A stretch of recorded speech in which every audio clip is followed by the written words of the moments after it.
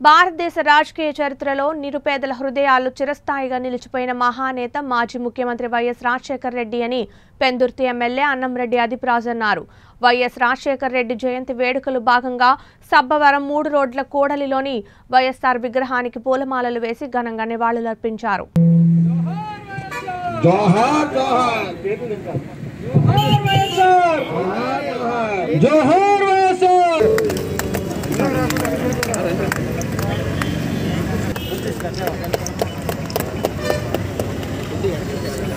Sir అందరూ జోహార్ వైఎస్ఆర్. జోహార్ డెబ్బై రెండవ జయంతి సందర్భంగా సభవరం కూడల్లో మరి వాళ్ళ పార్టీ నాయకులు పెద్దలు మరి ముఖ్యంగా రాజశేఖర రెడ్డి గారి అభిమానులు అందరూ కూడా ఇక్కడికి వచ్చేసి మరి రాజశేఖర రెడ్డి గారికి నివాళులు అర్పించడం జరిగింది. ఇవాళ రాజశేఖర రెడ్డి గారు భౌతికంగా మన మధ్య లేనప్పటికీ ఆయన పెట్టినటువంటి సంక్షేమ కార్యక్రమాలు ఆయన హయాంలో ఆయన పెట్టినటువంటి అనేకమైనటువంటి సంక్షేమ కార్యక్రమాలు ఇప్పటికీ కూడా ప్రజల తాలూకా గుండెల్లో చిరస్థాయిగా నిలిచిపోయాయి. ఆయన ఒక వ్యక్తిగా కాకుండా ప్రతి పేదవాడి గుండెల్లో కూడా ఒక దేవుడిలాగా రాజశేఖర రెడ్డి గారు ఉన్నారు. ఎంతోమందికి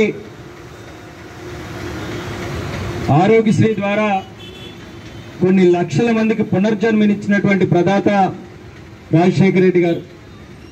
ఆయన తీసుకున్నటువంటి సంక్షేమ కార్యక్రమాలు మనం చూసుకుంటే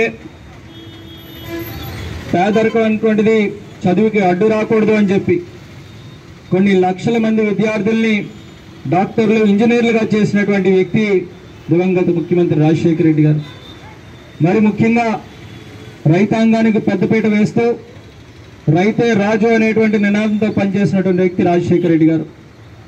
వాళ్ళు ఉచిత విద్యుత్ ఇచ్చేటువంటి కార్యక్రమం కానివ్వండి.